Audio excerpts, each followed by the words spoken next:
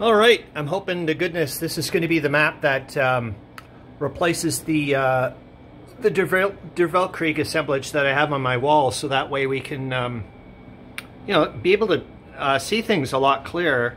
Um, it doesn't mean I'm dissing the whatever, it's just the way it goes. Um, it was never designed for that as far as I'm concerned. But, and Charles Latora, I know you were saying that uh, you thought it was a nice looking map. I didn't, I wasn't sure if I was going to be able to uh, find uh, a high enough res uh, image. It's not the best in the world, but I was able to, I mean, that ruler is 48 inches wide or long or whatever the heck. So um, that's going to be a dandy. Sweet. Hope you're having a great time, man.